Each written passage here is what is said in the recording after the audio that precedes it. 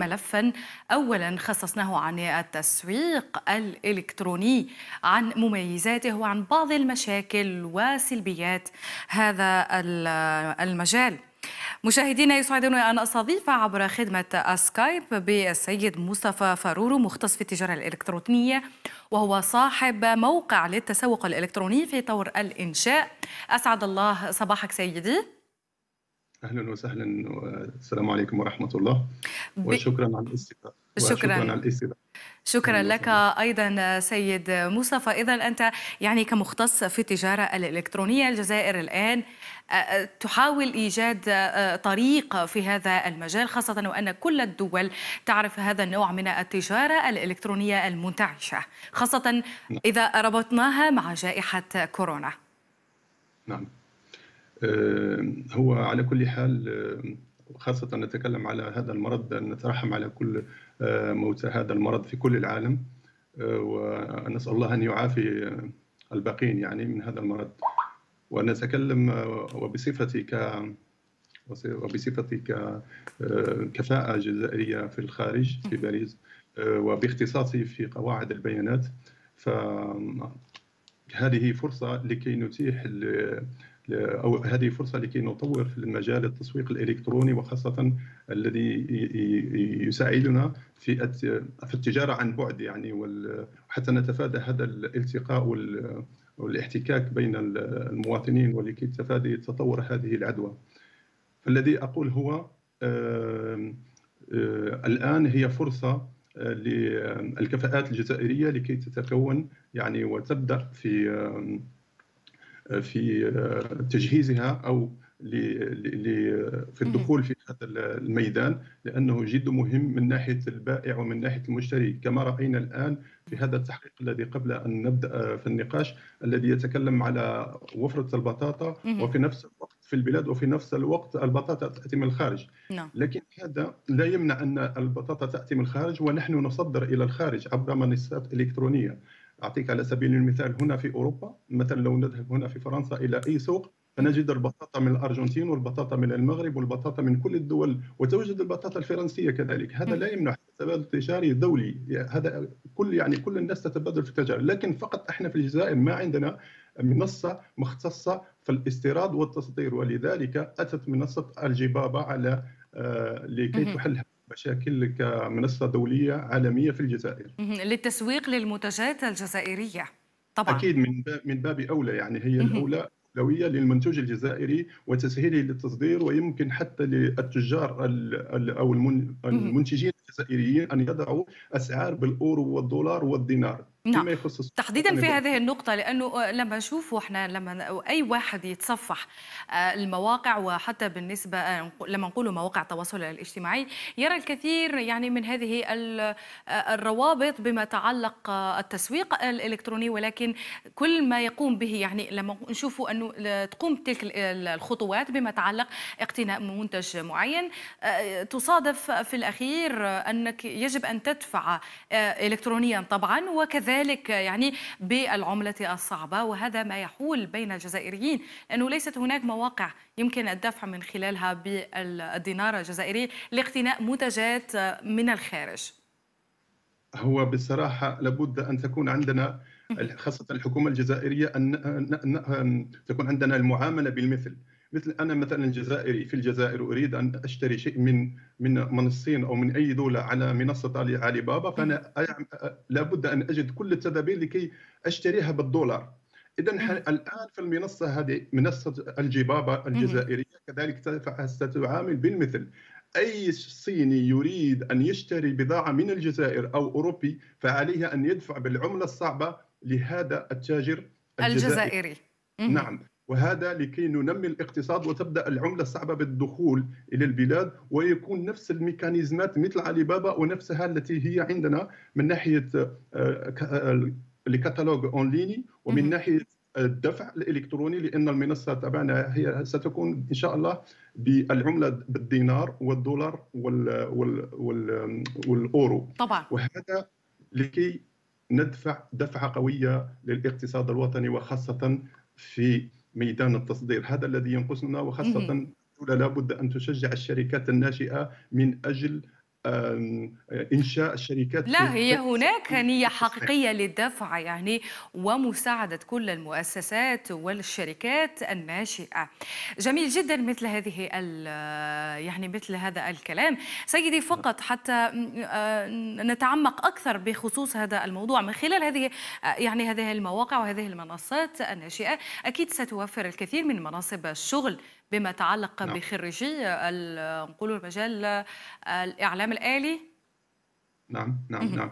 آه، هي هي السؤال جد مهم لأن أنا في هذه الجائحه في الحقيقة كانت عندي فرصة جيدة أني آه، وأشكر من من هنا آه، معهد الإعلام الآلي ليزي دوما أشكره المدير السيد جوديل وخاصة مدام ذهبيه هي التي دوما بجانبي في كل ما قمت به سابقا ولليوم. الآن عندي 14 مهندس تصوري مهندس في سنة ثالثة جامعة وليس في التخرج. فهم الآن كونتهم حسب خبرتي في المعلومات آه، الضخمة big data واستغلال هذه البيانات في التسويق والترويج الإلكتروني. فأنا يعني أعطيتهم شكل هذا أو أو خريطة الطريق لإنشاء هذا الموقع. الآن هم الحمد لله في إنشاء هذا الموقع بكل احترافية وهم في السنة الثالثة ينتقلون للسنه الرابعة. يعني عندنا كفاءات ومهارات وبعدها إن شاء الله سوف نوظف بين 200 أو 300 من العمال خاصة الخريجي الجامعات الجدد.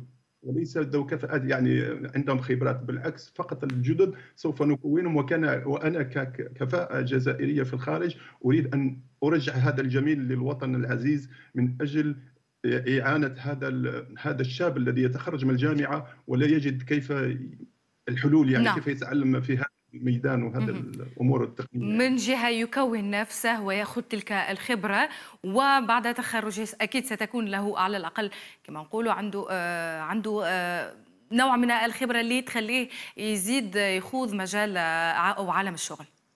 نعم نعم فعلا هذا فعلا. هذا وخاصة إحنا حن حن سوف نوجهه وخاصة يوجد شيء مهم جد مهم. أنا فعلا عندي منصة اسمها الجبابة سوف توظف عديد من من من الشباب المتخرجين. لكن إحنا الذي خاصة نشير إليه ليس التوظيف بالعكس بل هو إنشاء شركات ناشئة لكي يكون ألف الجبابة في الجزائر. وهذه وهذا هو سر الموضوع. إحنا بحاجة إلى أكثر من مليون أو مليونين شركة خاصة في التصنيع لكي نخرج إلى عالم التصنيع وتكون عندنا خاصة موقع الجزائر موقع جغرافي مهم بالنسبة لإفريقيا. وممكن تكون الجزائر مثل يعني منصة آه، مثل آه، دبي بالنسبة للشرق الأوسط فالجزائر بالنسبة للسوق الإفريقي. وعندنا كفاءات وعندنا ثروات يعني ما شاء الله آه، باطنية وكل شيء يعني مؤهل. فقط علينا التحكم و وكيفيه نعم. تسيير هذه طبعا. الكفاءات يعني. آه، طبعا. شيء جميل يعني آه، استغلال يعني آه، كما نقولوا يقول المثل يقول لك ضرب عصفورين بحجر واحد هو إنشاء هذه المنصات الإلكترونية من جهة وكذلك توفير وخلق مناصب الشغل. شيء جميل. هذا ما يعطي بدفعة قوية بالنسبة للاقتصاد الوطني. نعم. سيدي الكثير لربما الآن شيء جميل كل الكلام الذي تحدثنا عنه. لكن الكثير يتحدث الآن أنه يمكن أنه هناك هذه المنصات الإلكترونية التي تروج للتجارة الإلكترونية. قد تعاني من نوع من أشخاص آه، يتسببون في الاحتيال وكذلك النصب ومرات وللأسف عندما يروح واحد أنه يقتني المنتوج دياله يتصادف مع الكثير من المشاكل. آخرها يمكن نعطوا فقط مثال الشاب الجزائري الذي تعرض للاعتداء من قبل بعض الشباب وللأسف هي مجرد عصابة. استدرجته عن طريق عرض منتج عبر مواقع التواصل الاجتماعي. سيدي من خلال نحن نأخذ هذه التجربة من خلال هذه الشركة الناشئة في التسوق الإلكتروني. كيف أيوة. يمكن حماية المشتري أو الشاري من جهة وكذلك بالنسبة للبائع هل هناك قوانين تنظم التسوق الإلكتروني؟ نعم أكيد هناك عدة قوانين خاصة من ناحية اولا القانون يبدأ من ناحية المنتج ثم من ناحية المنصة التي تبيع تبيع هذا المنتج ومن ناحية طريقة الإرسال التي هي الشركة التي ترسل البضاعة يعني هو موجود كما يقول ال fournisseur. ثم عندنا la plateforme كيف qui met هذه المنصة التي تربط بين نعم. الزبون والمشتري والبائع. نعم. وهناك كذلك وسائل النقل اللي هي shipping يعني مثلا عن طريق ال DHL أو عن طريق ال EMS عدة طرق. اذا هناك كل كل طرف يتحمل مسؤوليته. مثلا بالمعنى هناك ضمانات آه، حقيقية بالنسبة للشاري وكذلك بالنسبة للبائع. أكيد. لأن هذا الشراء عن طريق يعني في الحقيقة عن طريق المنصات الإلكترونية. أنا لا أتكلم عن الفيسبوك لأن في الفيسبوك كله وهمي كل شيء لا. لكن إحنا عندنا منصة مثل منصة كل شيء مدرج. حتى الشركات التي سوف تسجل عندنا يكون اولا شرط أن نراجع يعني نراقب نراقب السجل التجاري نعم. نراقب كل وحتى في هذا في المنصة سيكون لكل شركة عندها آه، مثل ما نقول علامات يعني c'est des degrés معناه كذلك des étoiles تاع النجوم هناك درجات وهناك مثل النجوم التي نشهدها عبر الفنادق أكيد. أكيد. نعم وهذا لكي يشجع يعني سلم تصاعدي جميل تصاعدي. جدا نعم. من ناحية الخبرة ومن ناحية الجودة ومن ناحية le nombre des transactions وعده نواحي. هذا من ناحية المنتج. لكن نرجع دوما للقانون لحماية المستهلك. لازم لابد أن نعرف أن حتى في أوروبا يوجد عدة عدة احتيال ونصب لكن لا يدخل في قضية القتل وهذا الأمور لا نتكلم. فقط نجد في ناحية نقل البضاعة أو في ناحية الذي يبيع. لأن خدمة المنصات هذه علي بابا أو أمازون نفسها هذه الجبابة ستكون في نفس في نفس السيستم يعني إحنا خدمتنا إيش؟ نوصل بين البائع والمشتري. مع تل مع تلك الضمانات الحقيقية بين البائع والمشتري. الضمانات الحقيقية هذه آه، إحنا في في في المنصة عندنا شروط لأن لابد أن نحذر من حاجة. عندما نسجل آه، نسجل حسابنا في أي منصة في العالم فلا بد أن تقرأ. يعني هناك شروط. عندما تملأ معلوماتك في الأخير يوجد هناك شرط أن يعني يعني كذا كل شيء فيما يخص شروط الاستعمال. فلا بد أن تفتح هذا شروط الاستعمال وتجد تقول لك المنصة أنا لست مسؤولة مثلا على ضياع أو إذا أرسل لك آه، هذا البائع البضاعة والبضاعة تكون مغشوشة. أنا لست مسؤول عليها. لكن الناس ما تقرأ هذه الأشياء. لكن مثلا مثل علي بابا عنده طريقة لضمان هذه الأمور مثل Alipay. Alipay هذه مثلا أنك تدفع عن طريق Alipay لكن لا هذه الأموال لا تدفع للمنتج حتى الزبون يستقبل البضاعة ويجد فعلا البضاعة التي رآها هي نفسها التي أرسلت إليه. نعم. فهنا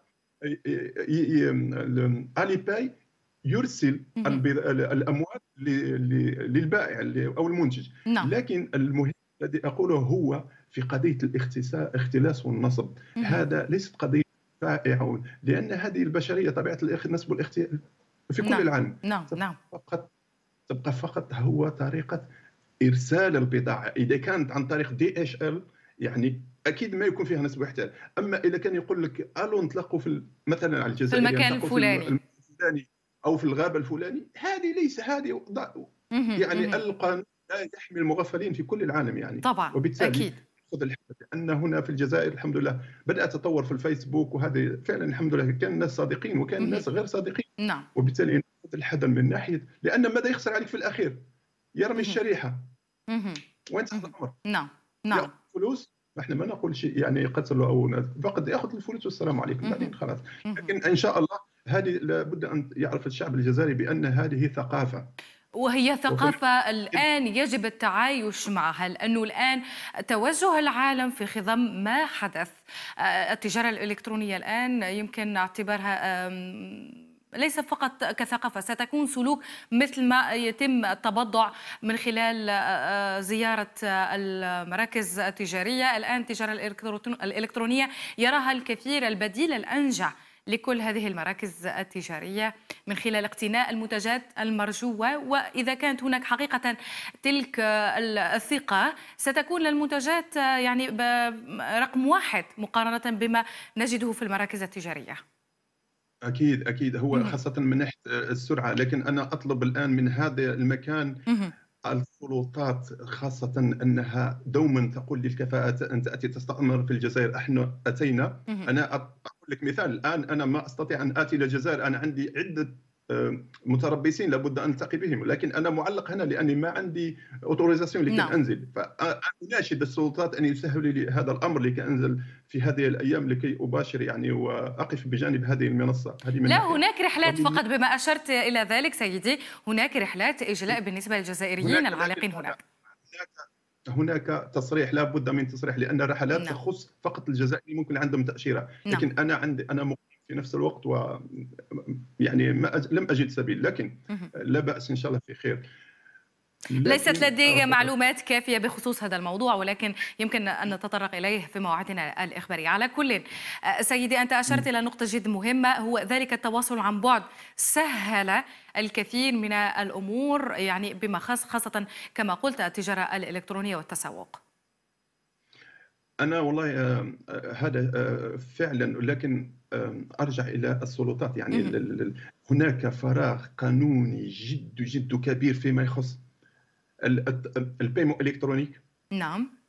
في, في يعني قوانين تحمي مثلا أعطيك على سبيل المثال. تعرف سيد مصطفى حتى نكون يعني موضوعيين وفي نفس الوقت لا نأكل كل واحد يأخذ حقه.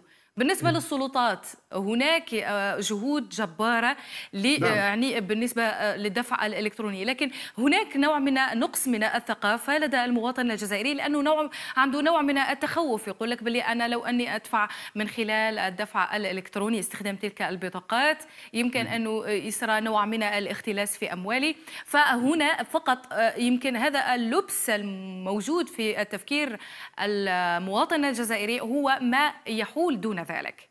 أجيبك هذا سهل يعني لأن فيما يخص الدفع الإلكتروني أولا هذه مثلا البطاقة الذهبية لابد أن la poste أو البنك ال BNP أو أي بنك يعني خاص لابد يضيف قيمة بسيطة من أجل آه، آه، كما مثل هنا في أوروبا يعني نعم. لو عندك اختلاس مهما كان المبلغ فهناك أنك عندك آه، تدفع شيء كل عام مثلا نفترض مثلا 50 500 دينار جزائري من أجل لو فيه نصب واحتيال على الحساب فالبنك يرجع لك c'est comme garantie يرجع لك هذا الاختلاس. هذا هذا هو حل ما في حل آخر. نعم. أما أرجع لك فيما يخص يعني القوانين الآن موجودة ليست مطورة لكي ت... ت... ت...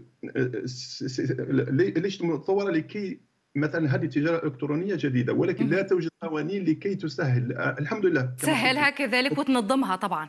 اكزاكتومون وخاصة الآن في لابد من قوانين من تسهيل آه، مثلا كيف ندفع نرسل بسهولة من ناحية مثلا هذا هذا الذي رأيناه. يتكلم عن البطاطا مسكين عنده بطاطا موجودة وبطاطا يعني جديدة. لو كانت صناعة تحويلية وتسهيل في إرسال بطريقه جد سهله مثل في, في كل العالم لهذه البضاعة لا ممكن يرسلها إلى أي مكان في العالم مثلا هذه البطاطا لو يذهب بها الآن إلى إلى الميناء ممكن تخسر لأن في تكلم على جائحة كورونا لكن ما فيش قوانين اللي تسرع خاصة نقول آه، ترسانة قانونية تسهل وتنظم صحيح. هذه السوق وكذلك آه، يقابلها الكثير من العراقيل. إحنا من خلال كل بلاطوهات النهار نتحدث دائما عن هذه العراقيل. رئيس الجمهورية كذلك بالنسبة للحكومة تعمل على قدم وساق للقضاء على هذه العراقيل التي تدخل في إطار البيروقراطية. لأنه الآن الجزائر ليس لها خيار آه، آخر أو بديل آخر إلا أن تتوجه إلى تسهيل مثل هذه الإجراءات القانونية التي تتحدث عنها. سيدي من أجل الدفع بقوة بالاقتصاد الوطني حتى تجد الجزائر مكانتها في مصاف الدول. عن قريب إن شاء الله. هذا هذا ما نامله خاصه أنا أشكر هذا وزير الشركات الناشئة التي التي كان عند أول ما بدأ في الحقيقة التقيت به وتكلمنا على عدة أمور وكان في المستوى يعني ونسأل الله يعني أن يوفقه فيما يخص هذا هذه هذه القوانين الجديدة فيما يخص الشركات الناشئة. ولا بد كذلك هناك بعض الملاحظات لا بد أن يكون فيها تسهيلات أكثر من ناحية تشجيع الناشئات الشركات الناشئة نعم. من ناحية المتخرجين لما يخرجوا يعني خاصة من ناحية ال registre commerce لأن هناك مصاريف كثيرة. يعني تتعب في الحقيقة هذا الشاب من أين يأتي بهذا المبلغ لكي يدفع حقوق الرسوم وهذه لل لل registre commerce هذه مثلا أتكلم على فرنسا يعني لا أقول فرنسا أحسن هي ممكن دول أخرى أحسن من فرنسا لكن من البيت ممكن تفتحي شركة. بملف واحد إلكتروني في في يوم أو ثلاثة تحصل على registre commerce يعني تسهيلات تجعل من الشخص أنه يرغب في تطوير كل نعم نعم جميل جدا. من البيت. نعم. ولا ولا فرنك.